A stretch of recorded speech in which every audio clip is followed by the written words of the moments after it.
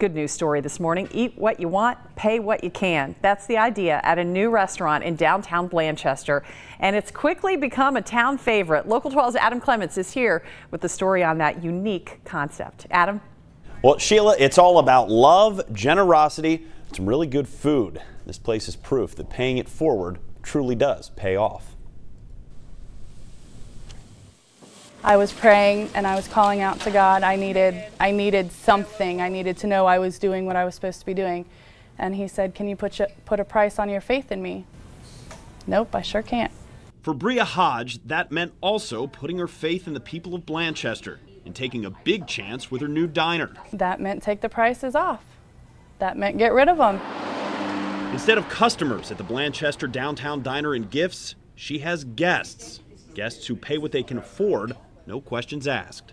They order their food.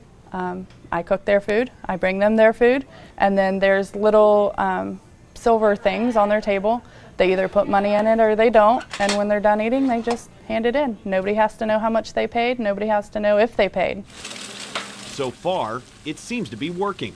Here you go. Do you want some change? But I thought so. Well, thank you. We're feeding people that don't have any place else to go. I have one lady who comes in every other day for a $20 cup of coffee. She says somebody's not going to be able to eat today, keep the change. It's just been a blessing in our lives to be able to come up here and it's like if I don't have a few extra dollars, I know that I can at least pay for my food. It's going to help somebody else.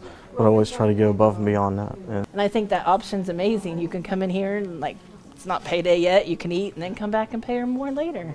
Word of the diner and its karma concept have spread not just in town, but all over the country. What a beautiful, kind, and loving concept. Please accept my meager gift and pay it forward to a patron of your choice. Please tell him or her that we love them and we love you. And that came from Boston. And it came from Boston. Breya says at the end of the day, this diner, this idea, is about helping others, making a better Blanchester one breakfast at a time. They could leave here without paying a dime, and I wouldn't say a word to them but they pay extra to help take care of their community, and I love that.